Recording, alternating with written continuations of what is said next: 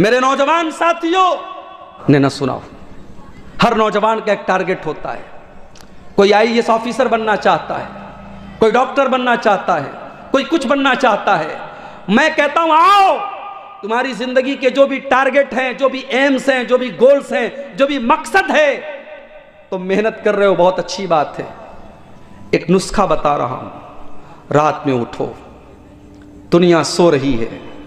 उस वक्त उठो, रात के दो बजे, तीन बजे, फजर की नमाज़ के एक घंटा, डेढ़ घंटा पहले उठो। वज़ू करो, आठ रकात नमाज़ पढ़ो तहजद की नमाज़ पढ़ो। फिर अल्लाह के सामने अपनी झोली फैला दो कि अल्लाह, मेरी ज़िंदगी का ये मकसद है, अल्लाह मुझे मेरे मकसद में कामयाब कर दे। मैं पूरे यकीन के साथ कहता हूँ, मेरे भाइयों, ये वो वक्त है जब रब्बुल आलमीन खुद आपकी दुआओं को कबूल करने के लिए आवाज़ देता है। ये वो टाइम है जब अल्लाह खुद आसमान दुनिया पर नाजिल होता है और आवाज़ देता है कि मांगो, मैं दूँगा मेरे बंदो। मुझसे सवाल करो, मैं तुम्हारे सवाल को कबूल करूँगा। अपने मकसद को पूरा करना है मेरे भाइयों, उस अल्लाह से मांगो, जिसके दर से कोई खाली हाथ नहीं लौटता है। दुनिया वालों से क्या मांगना? दुनिया वाले तो आपको ठुकरा भी सकते हैं, दे भी सकते हैं। उस अल्लाह से मांगो, जिसके दर पे मांगने वाला कभी मायूस नहीं होता है, जिसके दर पे मांगने वाला कभी बदनसीब नहीं होता है। मेरे प्यारे साथियों, नबी अकरम ने हमें ये सबक दिया कि तहजद की नमाज़ पढ़ी जाए और तहजद की नमाज़ के वक्त अल्लाह को याद करके आँखों से आँसू आ जाएँ, ये मेरे नबी का शेवा था, ये मेरे नबी की आदत और आगे बढ़िए। एक और मौके पर अल्लाह के नबी की आँखों से आँसू आए थे। बुखारी के अल्फाज हैं, मुस्लिम के अल्फाज हैं। अल्लाह के प्यारे नबी सल्लल्लाहु अलैहि वसल्लम अपने सहाबी हज़रत अब्दुल्ला बिन मसूद से कहते हैं, अय अब्दुल्ला, इकरा कुरान, अय अब्दुल्ला, तुम मुझे कुरान पढ़ करके सुनाओ। हज़रत अब्दुल्ला बिन मसूद कुरान के बहुत अच्छे कारी थे। आज हमारे यहाँ बच्चों की तारीफ़ होती है, साहब, हमारा बच्चा तो बड़ा काबिल है। क्या काबिलियत है भाई? हमारा बच्चा क्रिकेट बहुत अच्छी खेलता है। हमारी बेटी बहुत काबिल है। क्या काबिलियत है? हमारी बेटी डांस बहुत अच्छा करती है। हमारी बेटी गाना बहुत अच्छा गाती है। मेरे भाइयों हम, हमारी ज़ुबान से कब ये लफ्ज़ निकलेगा? हमारा बच्चा कुरान बहुत अच्छा पढ़ता है। अभी फ़लस्तीन का एक वीडियो हमने देखा। पीछे बिल्डिंग का मलबा है, पीछे मकानात टूटे पड़े हैं और एक मासूम बच्चा सात, आठ साल का उसी मकान के मलबे पर बैठ करके कुरान पढ़ रहा है। अल्लाह की कसम इमाम हरम और मस्जिद नबी में कुरान पढ़ने वाले की जो जो, उसका जो मकाम है और उनका जो दर्जा है, वो अपनी जगह है। मगर उस, उन हालात में और उस मलबे के आगे बैठ कर के वो बच्चा जिस तरीके से कुरान पढ़ रहा है, मेरे भाइयों, उस बच्चे की कुरान की तलावत सुन करके दिल खुश हो जाता है। मेरे भाइयों कुरान का पढ़ना और कुरान का पढ़ाना दुनिया का सबसे अजीम काम है। कभी भी कुरान पढ़ने वालों को और कुरान पढ़ाने वालों को कभी हकीर मत जानो। अल्लाह के प्यारे नबी फरमाते हैं खैरुकुमन कुरान वल्लमहू तुम में सबसे बेहतरीन इंसान वो है जो कुरान को पढ़ता है, कुरान को पढ़ाता है। हज़रत अब्दुल्ला बिन मसूद कुरान के बहुत अच्छे कारी थे। इतना अच्छा कुरान पढ़ते थे कि अल्लाह के नबी फरमाते हैं, अगर किसी को कुरान ऐसा सुनना हो जैसे कुरान अभी ताज़ा ताज़ा उतरा है बिल्कुल ताज़ा ताज़ा कुरान सुनना हो, वो अब्दुल्ला बिन मसूद से कुरान सुन ले। तो आपने फरमाया कि अय अब्दुल्ला चलो तुम मुझे कुरान पढ़ के सुनाओ। हज़रत अब्दुल्ला ने फरमाया, अकरऊ का उनजिल। अय अल्लाह के नबी, मैं आपको कुरान कैसे पढ़ के सुनाऊं? ये कुरान तो आप ही के ऊपर उतरा है। आप तो खुद साहेब कुरान है। आए अल्लाह के नबी, आप तो दिन रात कुरान पढ़ते रहते हैं। मैं आपको कुरान कैसे पढ़ के सुनाऊँ? आपने फरमाया, इन्नी उरीद नसमाहू मिन गैरी। अब्दुल्ला, आज मैं दूसरे के मुँह से कुरान सुनना चाहता हूँ। ओ लोगो, तुम्हारा नबी तो कुरान सुनने की तमन्ना कर रहा है, तुम्हारे नबी तो कुरान सुनने की ख्वाहिश कर रहे हैं। और मेरे नौजवान साथियों, तुम तो कानों में ईयरबड्स लगा करके और हेडफोन लगा करके, तुम तो म्यूज़िक सुन रहे हो, तुम तो गाने सुन रहे हो, तुम तो कार चलाने के टाइम भी गाने सुन रहे हो, तुम तो बाइक चलाने के टाइम भी गाने सुन रहे हो। अल्लाह न करे, बाइक का हादसा हो जाए, कार का एक्सीडेंट हो जाए और उसी हालत में नौजवान की मौत हो जाए। अल्लाह के नबी फरमाते हैं, इन्नल अब्दुबासला बंदा जिस हाल में मरेगा, उसी हाल में क़यामत के दिन उठाया जाएगा।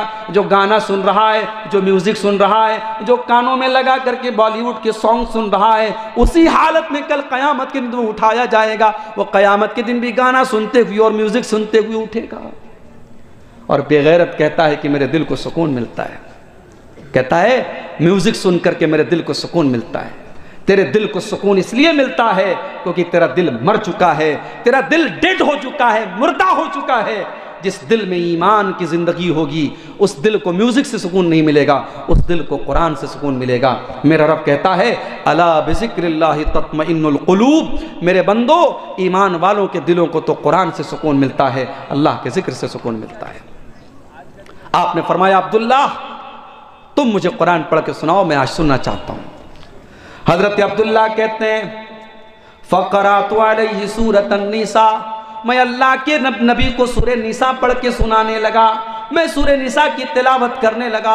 अल्लाह के नबी गौर से बैठ कर के सुनने लगे। मैं पढ़ रहा हूँ। अल्लाह के नबी सुन रहे हैं। यहाँ तक कि मैं सूर्य निसा की सायद पर पहुँचा।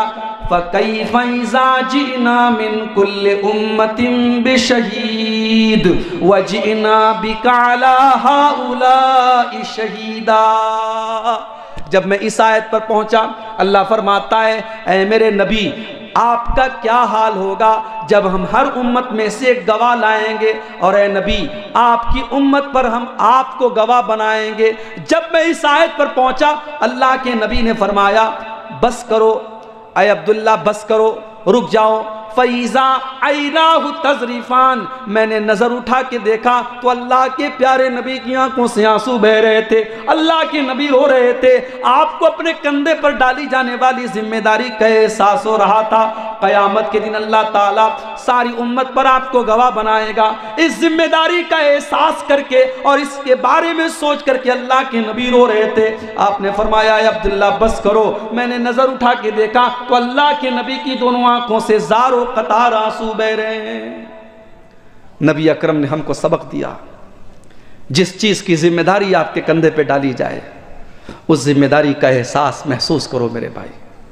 मदरसे का नाजिम बनना आसान काम है, जमीयत का जिम्मेदार बनना बहुत आसान काम है मस्जिद का मुतवली बनना बहुत आसान काम है, मगर इस ज़िम्मेदारी को निभाना और इसका हक अदा करना ये बड़ा मुश्किल काम है। अगर लोगों को मालूम हो जाए, ओहदे और ज़िम्मेदारी का क्या हक है तो शायद ओहदे के लिए और कुर्सियों के लिए जो लड़ाइयाँ होती हैं, ये लड़ाइयाँ होनी बंद हो जाएँ। मेरे प्यारे साथियों, अल्लाह के प्यारे नबी ने हमें सबक दिया।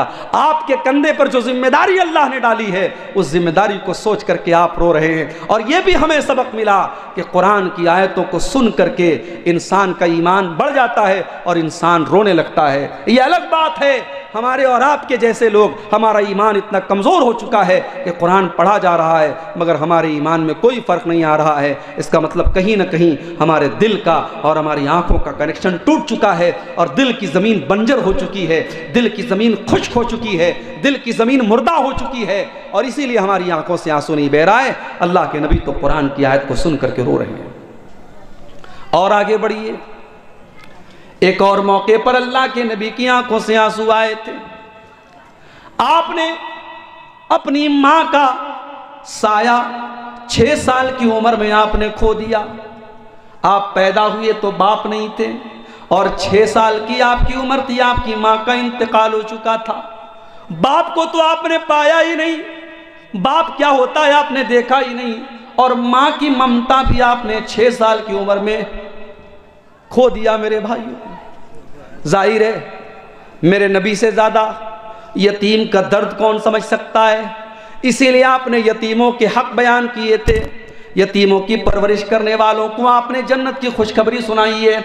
आपने फरमाया यतीम कहातईन आपने दो उंगलियों से इशारा करके फरमाया कि यतीम की परवरिश करने वाला जन्नत में मेरे साथ जाएगा। जैसे ये दोनों उंगलियाँ एक दूसरे के साथ जुड़ी हुई हैं, यतीम की परवरिश करने वाला भी जन्नत में मेरे साथ रहेगा। आप खुद यतीम थे। लेकिन एक बात बताइए मेरे भाइयों हमारे वलमा बैठे हैं। यतीम किसको कहते हैं? यतीम उस बच्चे को कहते हैं, उस नाबालिग बच्चे को कहते हैं, जिसका बाप मर गया। इंसान जब बालिग हो गया, जवान हो गया, अब वो यतीम नहीं रह गया। यतीम तब तक है जब तक वो नाबालिग है। लेकिन मेरे नबी अपने माँ बाप की कमी को हमेशा महसूस करते थे।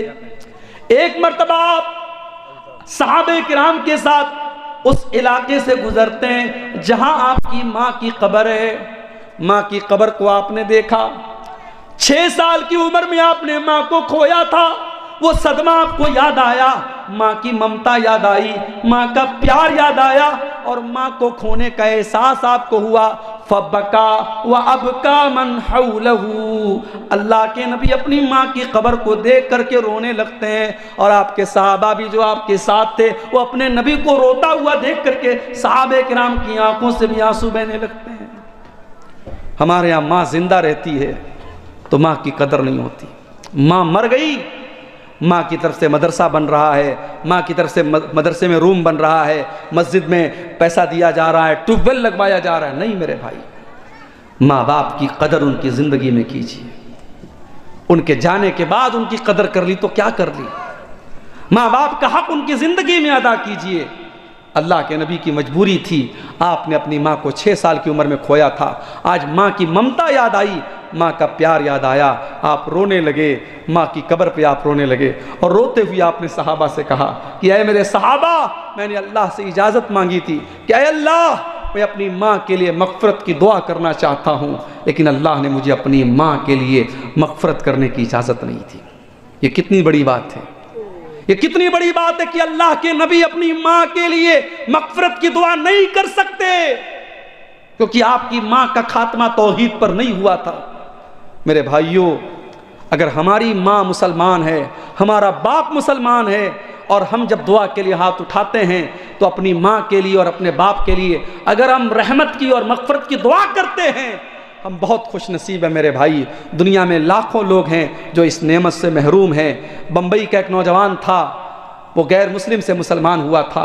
बड़ा अच्छा नौजवान है, दावत का काम करता है कभी कभी मुझसे मुलाकात होती है। मैंने पूछा कि, भाई, तुम्हारे माँ बाप का क्या हुआ? तुम्हारे माँ बाप ने कलमा पढ़ा कि नहीं पढ़ा? तुम्हारे माँ बाप ने इस्लाम कबूल किया कि नहीं किया? उसकी आँखों से आँसू आ गए और रोने लगा, का मौलाना मेरा बाप तो उसी हाल में मर गया। माँ ज़िंदा है मैं बहुत मेहनत कर रहा हूँ, बहुत कोशिश कर रहा हूँ। दुआ कीजिए, अल्लाह मेरी माँ को हिदायत दे दे। मेरे भाइयों, मैंने उसकी आँखों में दर्द देखा। वो दर्द ये था कि मैं, मेरी माँ इस लायक भी नहीं है कि मैं अपनी माँ की मफ़रत की दुआ कर सकूँ। मेरे भाइयों, अगर अल्लाह ने हमें इस लायक बनाया है कि हम अपनी माँ बाप की मफ़रत की दुआ कर सकते हैं तो ये बहुत बड़ी बात है।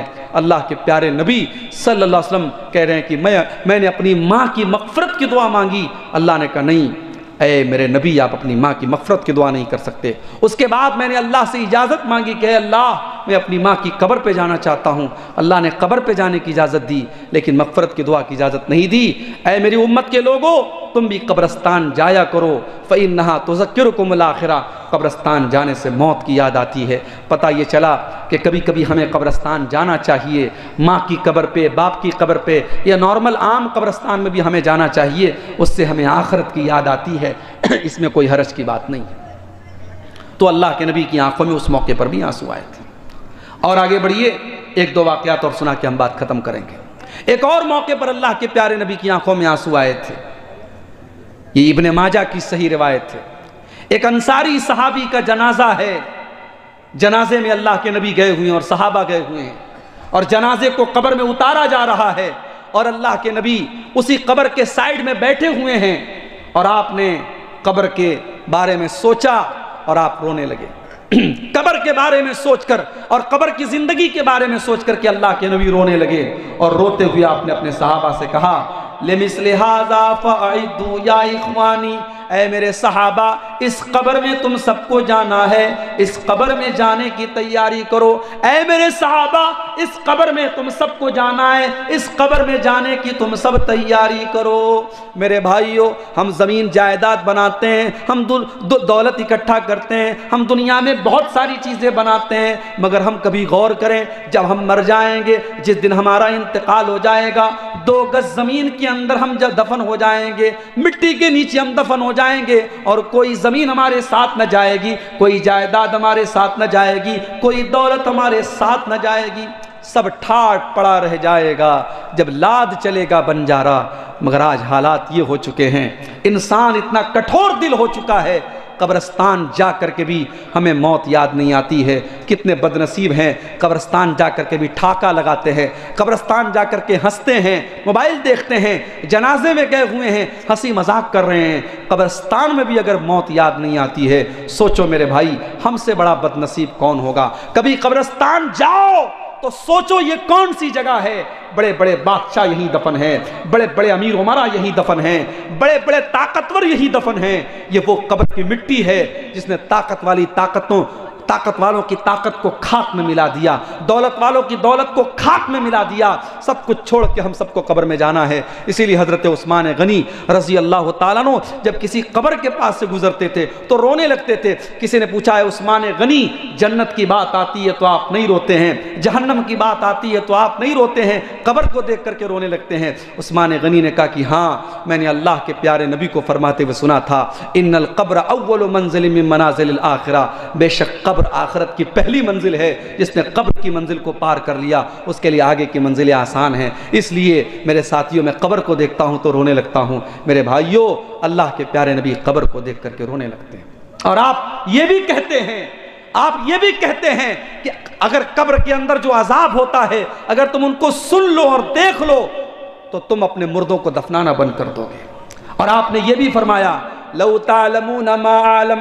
जो मैं जानता हूँ, अगर तुम जान लो। लजहिक तुम कलीलम बकई तुम कसीरा। तो तुम्हारी हँसी बहुत कम हो जाएगी और तुम बहुत ज़्यादा रोने लगोगे। जो अल्लाह का अजाब मैंने देखा है और अल्लाह के अजाब की झलकियाँ जो मुझे दिखाई गई हैं, अगर वो तुम देख लो और तुम जान लो तो तुम्हें हँसी बहुत कम आएगी और रोना बहुत ज़्यादा आएगा।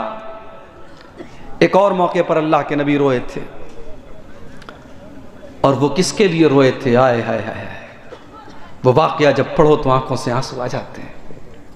हमारे नबी हमारे लिए रोए थे, अपनी उम्मत के लिए रोए थे। सही मुस्लिम की रिवायत है। अल्लाह के प्यारे नबी सल्लल्लाहु अलैहि वसल्लम कुरान पढ़ रहे थे। और कुरान की तिलावत के दौरान आपने हज़रत ईसा सलाम की इस दुआ को पढ़ा। ईसा सलाम अल्लाह से दुआ करते हैं, इन तो इबादुक। इन तगफिर लहुम फ़ैन कान अजीज़ुल हकीम आय अल्लाह ये तो तेरे बंदे हैं अगर तू माफ़ कर दे तो तेरे बंदे हैं और तू अजाब दे दे तो आय अल्लाह तेरा हिसाब लेने वाला कौन है तू ताकत वाला है तू हिकमत वाला है उसके बाद अल्लाह के नबी ने सुर इब्राहिम की शायद को पढ़ा इब्राहिम अल्लाह से दुआ करते हैं फमन तबियानी फ़ैन नहू मिन्नी वमन आसानी फ़ैन का गफूर रहीम आय अल्लाह अल्लाह जो मेरी इतबा करेगा, जो मेरी पैरवी करेगा, वो मेरा उम्मती है और जो मेरी नाफरमानी करेगा, अय अल्लाह, तू गफूर रहीम है, तू माफ़ कर देना। मेरे नबी ने देखा कि ईसा ने अपनी उम्मत के लिए दुआ मांग ली, इब्राहिम ने अपनी उम्मत के लिए दुआ मांग ली। आपने कहा कि मेरी उम्मत का क्या होगा? आपने दोनों हाथों को उठाया और आप रो रो के कहने लगे अल्लाह उम्मती अल्लाह उम्मती, अय अल्लाह, मेरी उम्मत का क्या होगा? अय अल्लाह, मेरी उम्मत का क्या होगा? अल्लाह ताला ने जबरील को भेजा। अः जबरील, जाओ पूछो, मेरे नबी से क्यों रो रहे हो? हज़रत जबरील आए और कहा अल्लाह के नबी, क्यों रो रहे हैं आप? आपने फरमाया, मैं अपनी उम्मत के लिए रो रहा हूँ। मेरे भाइयों, हम कितने खुश नसीब हैं। हमारे नबी रातों को हमारे लिए रोया करते थे, मगर हम कितने बड़े बेवफा हैं। उस नबी के साथ हमने कितनी बेवफाई की, जो नबी हमारे लिए रातों को रोया करते थे। आज उस नबी की सुन्नतों को हम अपने हाथों से काट देते हैं। उस नबी की शरीयत को हम कितनी मरतबा उस शरीयत की मुखालफत करते हैं। उस नबी की सीरत और किरदार को हम नहीं अपनाते हैं। सलाम उस पर जो उम्मत के लिए रातों को रोता था। सलाम उस पर जो फर्श खाक पर जाड़े में सोता था। सलाम उस पर कि जिसके घर में चांदी थी, न सोना था। सलाम उस पर के टूटा बोरिया जिसका बिछौना था। मेरे भाइयों, अल्लाह के नबी रो रहे हैं और जबरील अमीन आकर के पूछते हैं, क्यों रो रहे हैं? आप कहते अपनी उम्मत के लिए रो रहा हूँ। अल्लाह ताला जबरील अमीन के ज़रिए पैगाम भिजवाता है कि अय मोहम्मद वसल्लम, आप परेशान ना हो। इन्ना सनुर्दी कफ़ी उम्मती कबला नसू का हम आपकी उम्मत के बारे में आपको खुश कर देंगे। आप परेशान ना हो। आप परेशान ना हो, आप चिंता ना करें, आपकी उम्मत के बारे में हम आपको खुश कर देंगे। मेरे प्यारे साथियों, वो नबी हमारे लिए रोया करते थे। वो कयामत के दिन भी जब सारे नबी ये कहेंगे, मुझे अपनी जान की फ़िक्र है, मुझे अपनी फ़िक्र है। तो हम हमारे नबी हमारी फ़िक्र करेंगे और अल्लाह की बारगाह में सजदे में गिर जाएँगे और फिर अपनी उम्मत के शफात करेंगे। मेरे भाइयों, उस नबी उस नबी से हम मोहब्बत करें और उस नबी की इतबा करें। उस नबी ने हमें यह दर्स भी दिया है कि वो नबी अपनी उम्मत से कितनी मोहब्बत करते थे कि रातों में उठ करके अपने नबी के लिए, अपनी उम्मत के लिए रोया करते थे। और आगे बढ़िए। अल्लाह के नबी एक और मौके पर रोए थे। अल्लाह ने आपको चार चार बेटियाँ दी थी, मगर बेटे जो भी हुए, सब बचपन में ही इंतकाल कर गए। आखिरी बेटा आपको पैदा हुआ, बेटे का नाम अपने बाप इब्राहिम के नाम पर आपने इब्राहिम रखा। ये हज़रत मारिया के पेट से पैदा हुए थे। आपने अरब के दस्तूर के मुताबिक उस बच्चे को देहात में दाई का दूध पीने के लिए भेजा।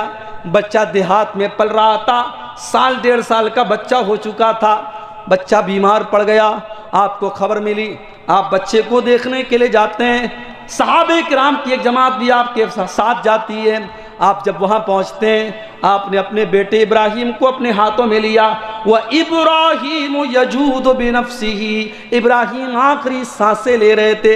इब्राहिम की सांस अटक रही थी। इब्राहिम अब आखिरी साँसें ले रहे थे। उनका दम टूट रहा था। अल्लाह के नबी अपने आप को मजबूर महसूस कर रहे थे। आपका बेटा आपकी गोद में, आपके हाथों में दम तोड़ रहा था। आपकी आँखों से आँसू बहने लगते हैं। हज़रत अब्दुलरहमान इबन औफ कहते हैं, अय अल्लाह के नबी, ये क्या बात है? हम आपको रोता हुआ देख रहे हैं। आप क्यों रो रहे हैं? आपने फरमाया अय अब्दुलरहमान हाजी रहमतुन जालफी कुलूबी बादी अय अब्दुलरहमान मैं अगर एक नबी हूँ, अगर मैं एक रसूल हूँ तो मैं एक बाप भी हूँ और एक बाप के आँसू हैं जो अपने बेटे के लिए निकल रहे हैं। ये अल्लाह की रहमत की निशानी है, जो अल्लाह ने अपने बंदों के दिल में डाली है। आपकी आँखों के सामने आपके बेटे का इंतकाल हो गया और इब्राहिम का दम टूट गया। और आपने क्या फरमाया इन्नल आइन तदमा वल कल्ब यहजुन वला नकूल इल्ला मा यरजा रब्बुना इब्राहिम, तेरे बाप की आँखों से आँसू बह रहे हैं, तेरे बाप का दिल गमगीन है। इब्राहिम, तेरे जाने से तेरा बाप बहुत गमगीन है, मगर तेरा बाप अपनी ज़ुबान से कोई ऐसी बात नहीं निकालेगा जिससे अल्लाह नाराज़ हो जाए। ये था मेरे नबी का रोना। मेरे नबी अपने बच्चे की वफात पर भी रोए हैं। तो वो कंट्रोल के साथ रोए हैं। वो रोना ऐसा नहीं है, आपने कपड़े फाड़े हों, आपने सीना सीना पीटा हो, आपने कोई ऐसी बात कही हो, आज उसी नबी के नवासे की शहादत के नाम पे हर साल मुहर्रम में, पूरी दुनिया में क्या क्या नहीं होता है मेरे भाइयों। काश दुनिया को ये बात समझ में आती कि मेरे नबी ने गम के इजहार का तरीका भी बताया है। मेरे नबी ने खुद अपने बेटे की वफात पर जो गम ज़ाहिर किया है, मेरे भाइयों, आपकी आँखों से आँसू तो बहे हैं, मगर ना आप, ना आपने सीना पीटा है, ना काले कपड़े पहने हैं, ना आपने ज़ुबान से कोई ऐसी बात कही जिससे अल्लाह नाराज़ हो जाए। एक और मौके पर अल्लाह के नबी रोए थे। आपके पास खबर आई, आपके नवासे का आखिरी टाइम है। आपकी बेटी ने पैगाम भिजवाया कि, अब्बा जान, जल्दी से आ जाइए। आपका नवासा बीमार है आखिरी टाइम है। आपने अपनी बेटी के पास पैगाम भिजवाया कि, जाओ मेरी बेटी से कह दो, इन्ना लिल्लाही मा आता व लहू मा खज अल्लाह ताला जो चाहे दे दे, जो चाहे ले ले। व कुल्लो शहीन इंदहू बिया मुसम्मा हर चीज़ का अल्लाह ताला का एक टाइम मुकर है। फल तस्विर वल तहतसिब। जाओ मेरी बेटी से कह दो, वो सब्र से काम ले और सवाब की उम्मीद रखे। बेटी ने फिर पैगाम भिजवाया, अब्बा जान, जल्दी से आ जाइए, आपका नवासा आखिरी साँसें ले रहा है।